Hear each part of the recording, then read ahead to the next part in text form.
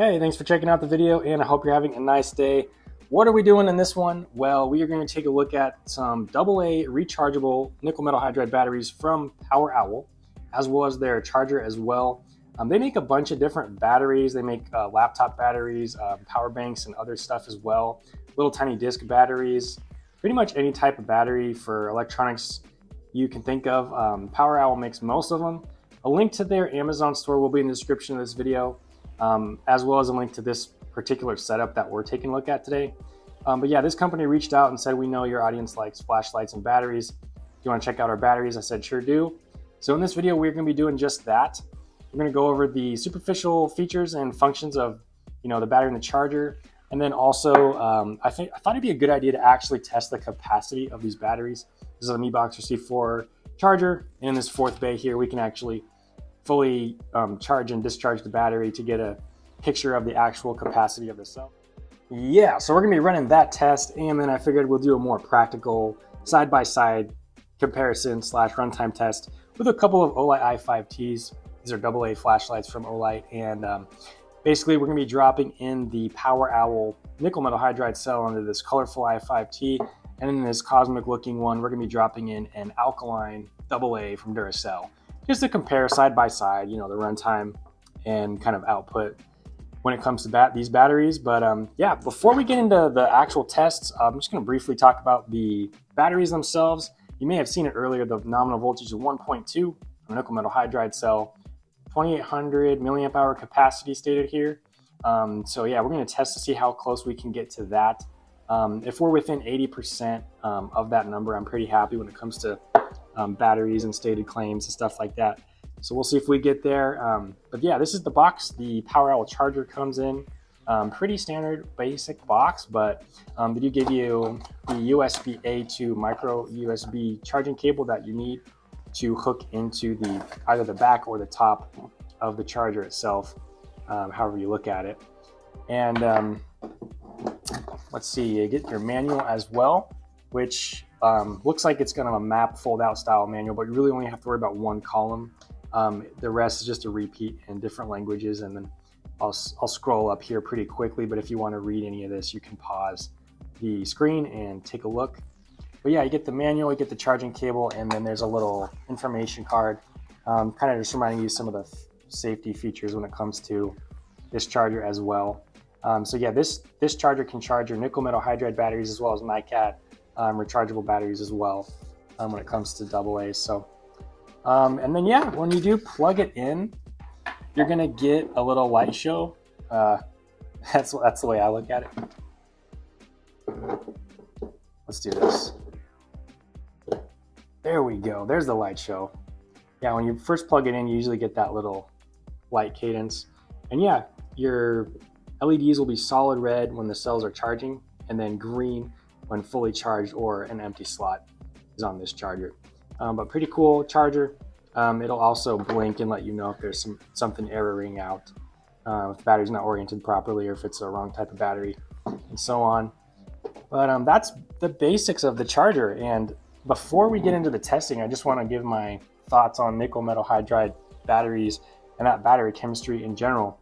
Done a few different tests on this channel with the AAA size and I was really surprised at the runtime that these offer.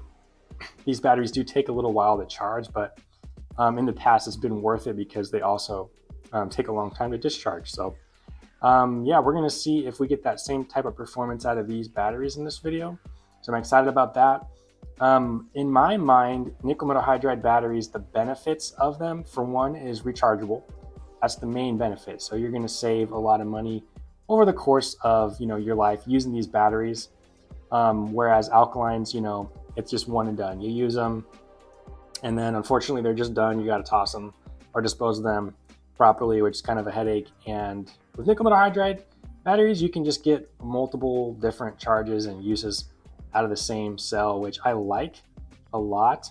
Um, so that's benefit number one.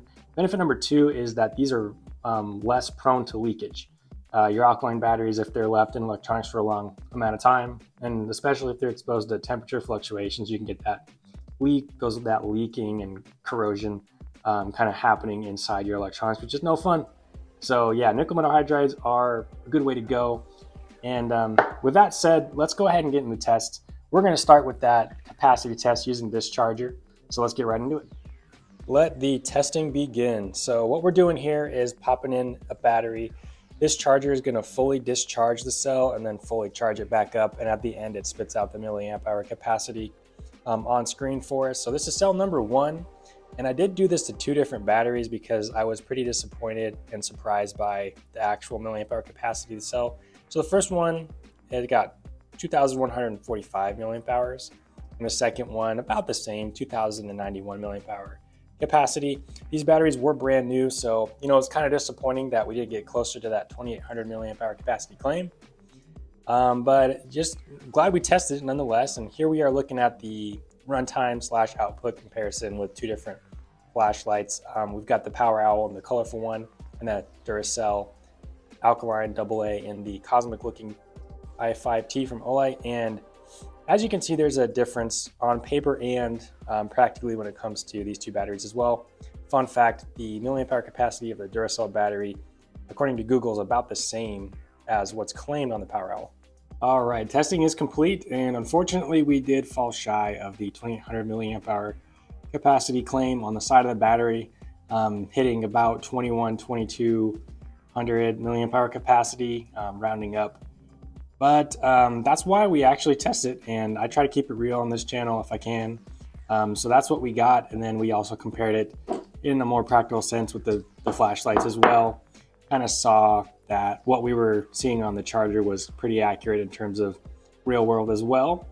But um, with that said, I mean, these batteries, they still have a place, I guess, in my house. I'm probably going to put these in a lot of electronics um, I don't use like super often, like, um, like stud finder or uh, my trusty clock, for example. Just pop one in the back. I've been using alkaline batteries in this, but no sense in doing that. I think these will fill that role really well. Be able to recharge them will be good too. Got an old uh, GameCube wireless controller, the Wavebird. These little guys will work well in that as well. Um, but when it comes to flashlights and runtime, I don't think I will be using these personally. But um, in any case, uh, the charger works well.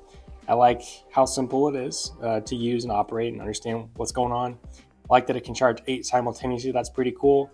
And Power Owl does have other offerings as well that may be better suited to your needs as far as um, number of bays and um, battery types as well. Hope this video get give you a good look at everything. Um, once again, um, uh, Amazon affiliate links will be in the description if you want to pick anything um, up and support the channel. And um, if you want to pick up an Olight flashlight, my Olight affiliate links going to be there for you as well. always do appreciate any support. But I mostly just appreciate you watching and hope you got useful information from this video please do hit the like button if you got value from it. Um, that's all I ask. But otherwise, have a great day. God bless, and I'll see you next video. Take care. Bye.